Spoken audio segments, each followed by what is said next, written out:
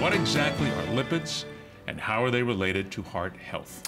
So lipids are basically fats. When we look at different substances in our body, um, um, we have different um, um, chemicals and compounds and whatnot, and we look at different parts of our diet. There are different compounds. The diet is made up of proteins and carbohydrates and fats, fatty acids, oils, and our body absorbs those and uses them and packages them in certain ways, and lipids are a form of that. So specifically, lipids are fatty compounds.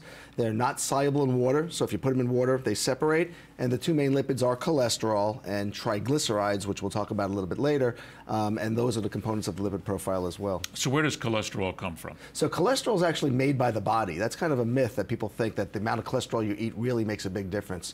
Every cell in the body will manufacture cholesterol. It's necessary.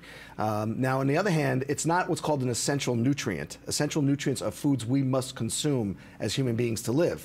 There are omega-3, omega-6 fatty acids, various amino acids. We have to eat those. We don't manufacture them. But cholesterol is not an essential nutrient, which means if you eat a zero cholesterol diet, you're perfectly healthy. Your body makes all the cholesterol it needs.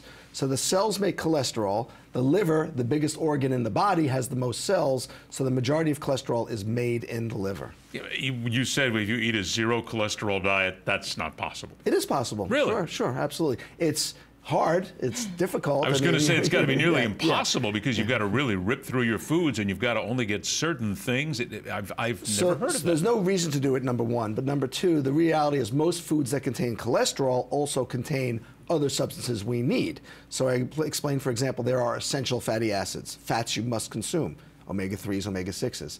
Cholesterol is found in some of those foods. So if you're going to eat foods that you need, by definition, you're going to also be getting in cholesterol. But if you ate a, a, a man made diet of nutritional substances, let's say astronauts in the space station who are getting just what they need, and it doesn't include any cholesterol, they, they're going to be perfectly healthy.